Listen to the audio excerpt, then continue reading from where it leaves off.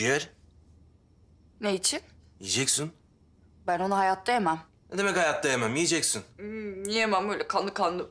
Ha, onu diyorum işte kan yapar. Haydi. Yemem. Hem sen ne gülüyorsun öyle? Anne ye. Sen önce şunu iç. Sen de şunu ye. Ya hayır, yemeyeceğim, hayır. Aç ağzını. Yemeyeceğim. Anam bunu yerse sen de onu içersin değil mi aslanım? İçerim. Ya Tahir ya. Aç bakayım ağzını. Aç, aç, aç, aç.